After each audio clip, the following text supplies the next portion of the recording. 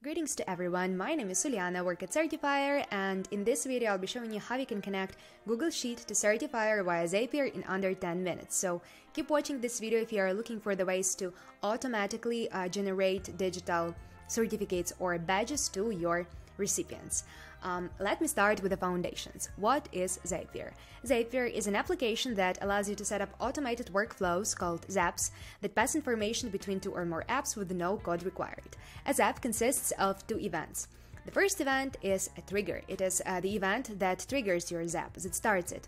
And the second event is an action. It is the event that your Zap uh, performs. So, given the title of this video, uh, I am about to create a Zap between Google Sheet that's going to perform the trigger of my Zap, and Certifier that will be performing uh, the action part of my Zapier. When a new row is uh, added to my Google spreadsheet document, a certifier certificate will be automatically generated using the information from that row. I know that that may sound tricky and um, complex, but trust me, you'll get everything just like this uh, once you see me doing this, and the whole process will look very easy and very simple. So, what do you need to create um, such an integration? Basically, everything that you need is to have a Zapier account on a free or higher plan and a certifier account on a free or higher plan with at least one group created. And of course, we need to have a spreadsheet that we would like to use uh, to create this automation. Now, when we are well equipped with the information that's needed to proceed with our Zap creation, let me uh, go and uh, do that. So I'll make myself smaller and move myself here. Let's go to Zapier. Uh, so this is um, our Zapier application view. Let's click on this button, Create Zap. And now we are redirected to the process of uh, Zap creation.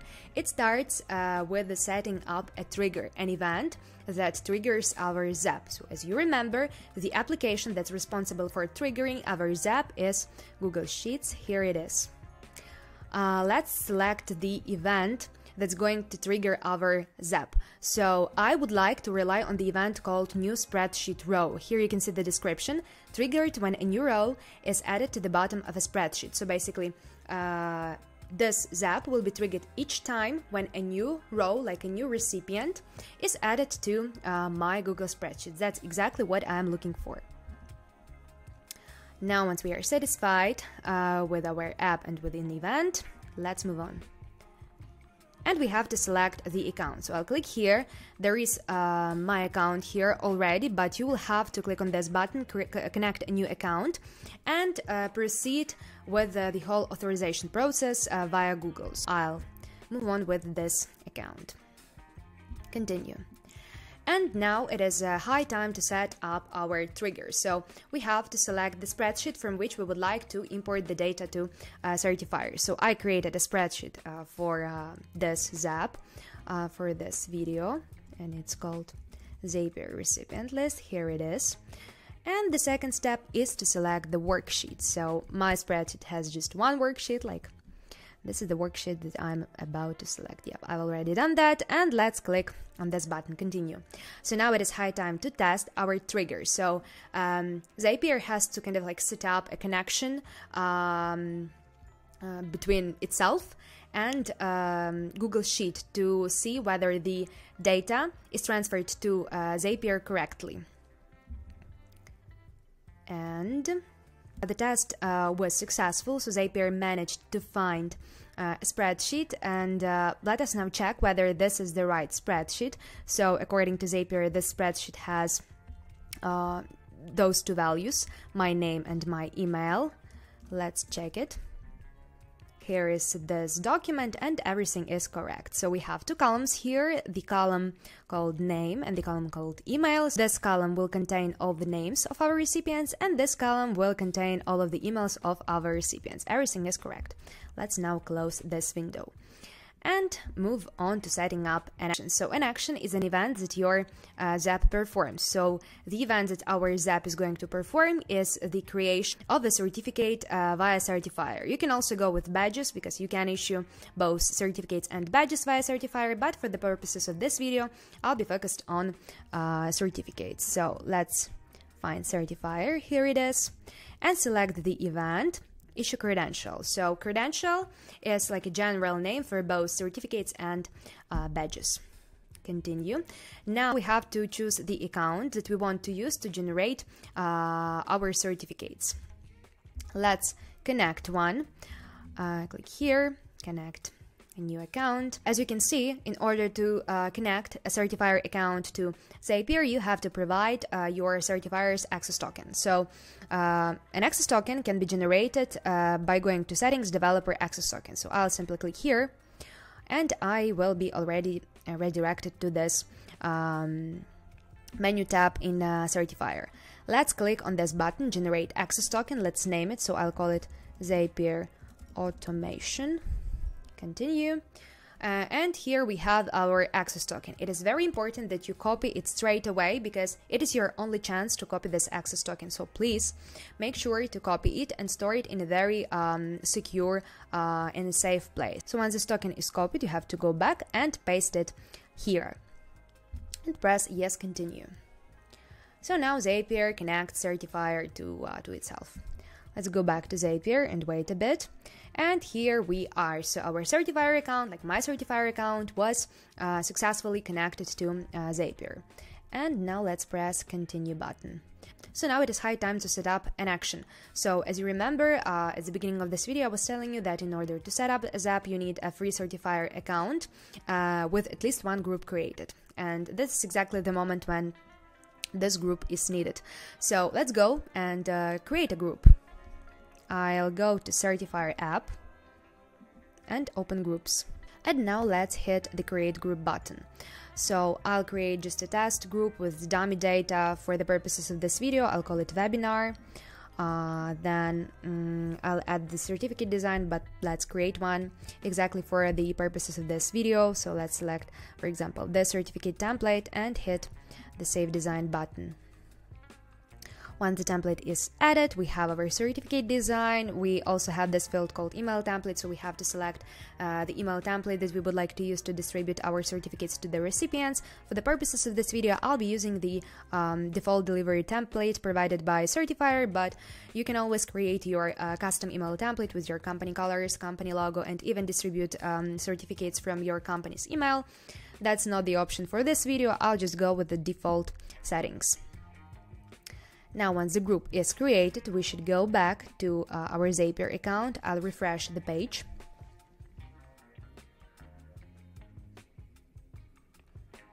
And select the group that we've just created. Here it is. The group is called Webinar.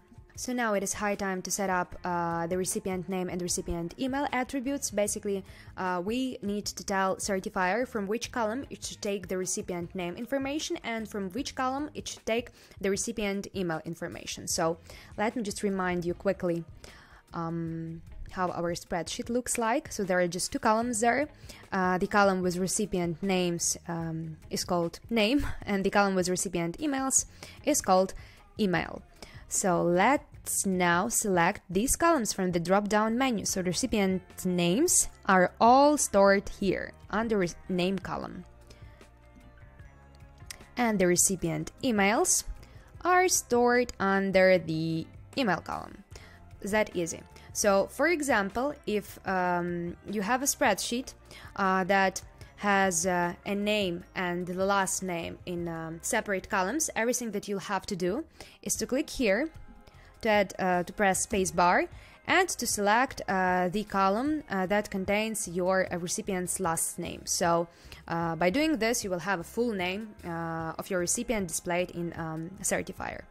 now we have the field that's called issue credential, and as you can see by default, it's set up as true. So if this field is set up as true, it means that each time when this zap is triggered, so each time when there is a new row added to your uh, Google spreadsheet, a new certifier certificate will be automatically created, uh, like generated, and sent via email to your recipients. So if it is set up as false, it means that each time when a zap is created, a new certifier certificate will be automatically generated and saved as a draft in your certifier dashboard. It will not be distributed. So then you'll have to go, like at some point of time, uh, to your certifier dashboard to select all of those draft certificates and publish them manually. So I personally prefer a fully automated process, so I um, am leaving this field uh, set up to true.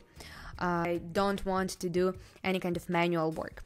Uh, then we have two more fields, uh, the issue date and the expiry date. So my recommendation is to uh, leave the issue date blank.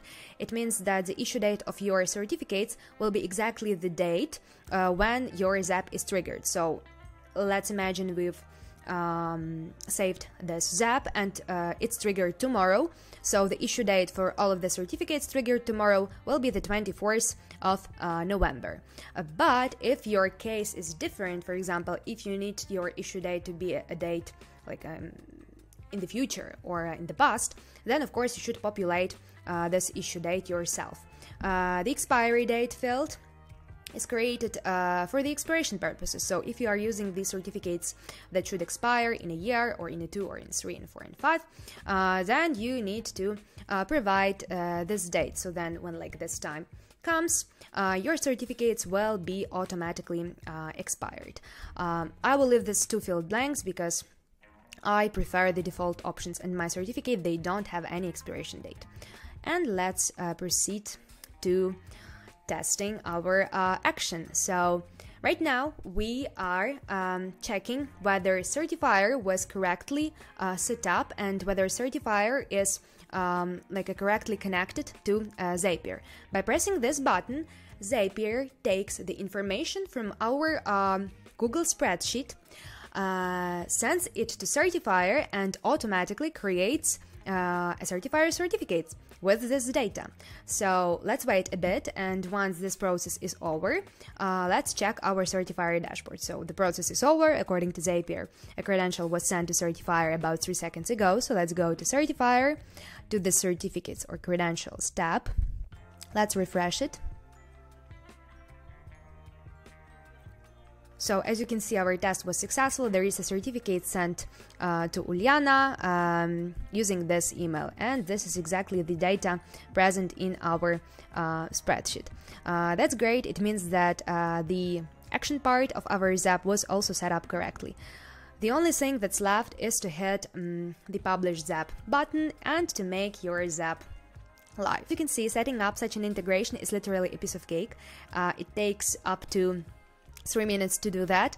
It is very easy, it is very fast, and I'll be sincere, it's even enjoyable because I mean, I'm not a developer.